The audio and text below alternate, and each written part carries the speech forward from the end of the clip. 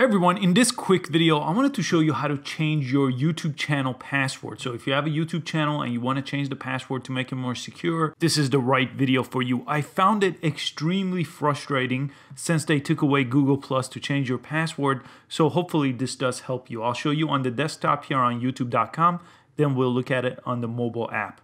So go up here to your channel icon here. You want to click your channel icon and when you click the channel icon, you want to press manage your Google accounts right underneath your name here.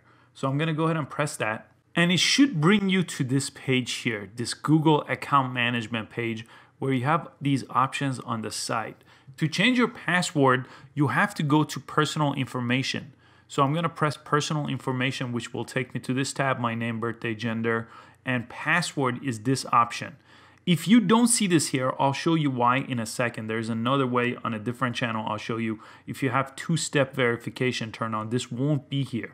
But if it is here, go ahead and press it. Then log into that account, just press next here. And you could type in your new password, confirm password, and press change. So I'm gonna go ahead and do that right now.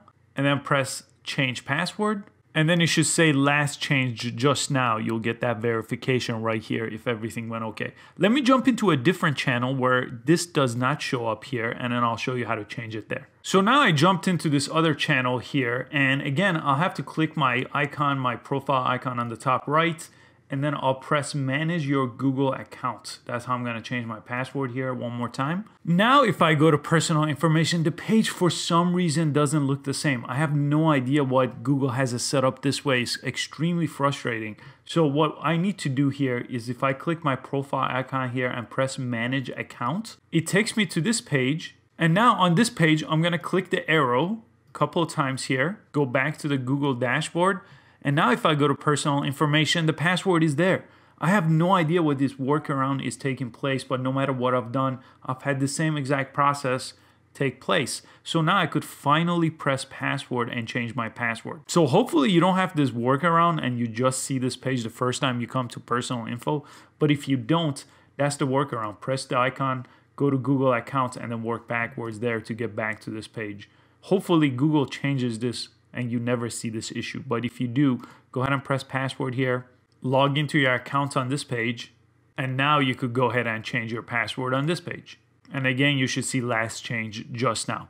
Let me just show you where this exact page is on the mobile device. Now I'm gonna jump into YouTube right here and here I want to click my, again, profile icon on the top right. And now I want to say manage your Google account. So pretty much the same thing as the website menu here. And on this page, you have the same Google account option. So if you go to personal info, you should have that option. If you have the same issue as I had on the desktop, same thing. Press your logo here on the top, go to manage account. And then here, just work backwards to the home page here. I'm just pressing that a few times.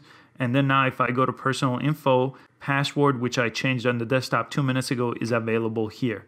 If you have an easier way to do this, please let me know in the comment section. And if they do change this, I will update this video. Thanks so much for watching, and I'll catch you next time.